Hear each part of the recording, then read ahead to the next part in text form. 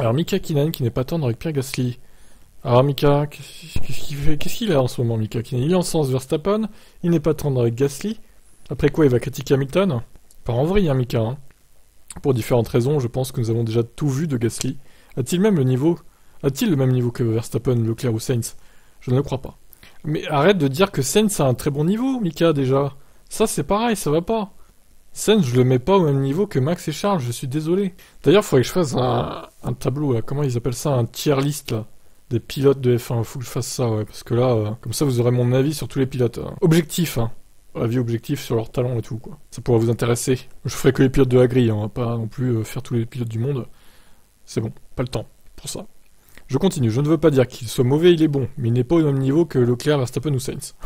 Et je pense qu'il ne battra pas son coéquipier Ocon cette saison. Après, je ne le connais pas suffisamment pour évoluer s'il est capable de motiver l'équipe, donner des retours techniques et communiquer. C'est difficile à dire, il a pourtant une bonne réputation puisqu'il a encore été signé. De l'autre côté du garage, en revanche, Akinen ne tarie pas d'éloges sur Esteban Ocon, qu'il considère comme un concurrent féroce en piste. Ocon est un pilote intéressant, il a réussi à rester en Formule 1 depuis un bon moment. Il a fait du bon travail, j'espère qu'il sera capable de produire de bons résultats cette année. Il n'a pas vraiment encore réussi à briller. C'est un concurrent féroce, il ne s'attend pas il ne s'entend pas toujours très bien avec ses coéquipiers, je ne sais pas pourquoi, mais c'est comme ça.